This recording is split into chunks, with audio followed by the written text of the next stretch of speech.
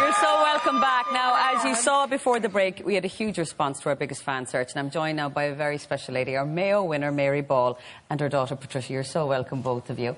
Thank you. Mary, you were at the game when Mayo last won in 1951. How old were you that time? 50 and 51. Yes, you were at both of them, that's right. Yes, but you yeah. didn't enjoy 1950. No, because it was so hard getting out of Hill 16. Bit cr- you were in Hill 16. Good girl yourself. I thought if I ever get out of here, never again. Well, But you went back, I went back for more.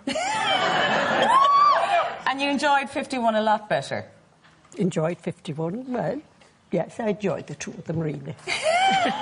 Day, wasn't it a day out? It was a great day out. And tell me, did, who did you have a favourite player at the time? Oh, they were all favourites. They were all favourites. I'm getting a picture of you now, Mary, and what you were like back in the day. And you're going tomorrow, are you? With God's help, Yes. I'll be there. I think you might be because Yeah. I'm congratulating you now and presenting you with your tickets to go to the match. Thank you very much. Thank you very much. We're delighted to give them to you, Mary. Thank you. And do you have a favourite player tomorrow? No, no. As long as they do it, isn't that it? Oh, that's that's all I want. Now, That's it.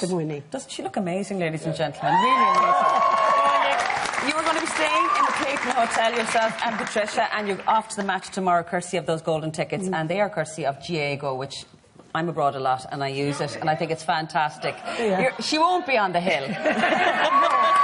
Not tomorrow. Oh, been on the hill in the last number of Well, years. and we won't make you go now no, either. no, no, Gráinne, no. sorry, could I Go on, just could I just add that tomorrow actually would have been my dad's 90th birthday. Ah. So unfortunately he's dead for a while now, but we kind of feel we have somebody praying for us up there. So if they He's can do it helping to the lads tomorrow, please do it for, for dad. That's strong stuff. We'd like to thank GAAGO.ie for those tickets as well. Thanks very much. Thanks, ladies. Thank